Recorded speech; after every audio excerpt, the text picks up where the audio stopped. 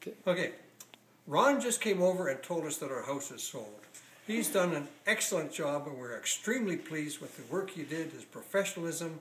He and his wife went beyond the call of duty, came over, staged our house, told us what we could sell it for, got us an excellent price, and we are extremely happy with his service. That's it.